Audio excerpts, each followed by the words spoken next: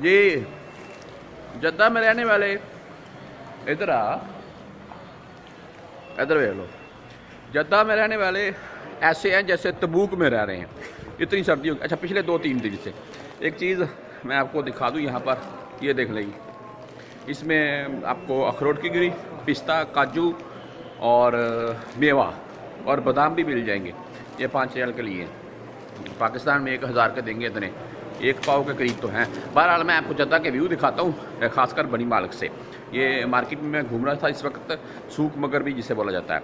तो सर्दी बहुत है जी गर्म शर्ट, ऊपर गर्म कैप जद्दा में पिछले तीन चार दिन से।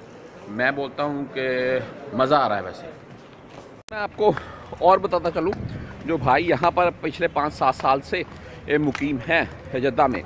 वो ये बात बोलते हैं कि भाई पिछले पाँच सात सालों में इतनी सर्दी जो इस साल है, इससे पहले सऊदी अरेबिया में नहीं, यानी कि जद्दा में हमने नहीं देखी है।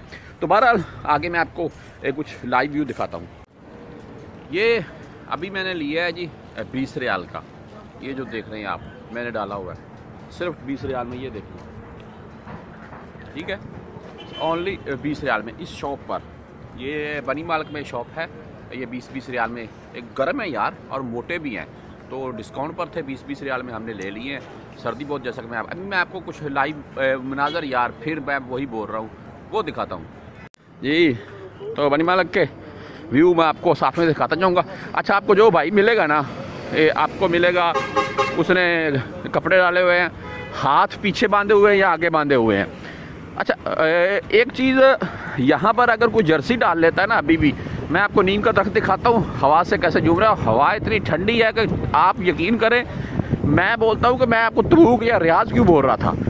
ऐसे मौसम में जैसे रियाज में होता है, वो नीम के दरख्त देख लें कैसे झूम रहा है। अच्छा यहाँ पर अगर कोई जर्सी या हुड वगैरह डाल लेता है ना तो लोग उसको बोलते हैं कि, ओए, तेन बहुत ही ठंड लग दी हालाँकि बुखार हो जाता है और बहुत सौ को हुआ है और मुझे खुद से हुआ है। देख लें जी बुखार हो जाता है और फिर पड़े रहते हैं, डॉक्टर के पास दवाई लेने जाते हैं।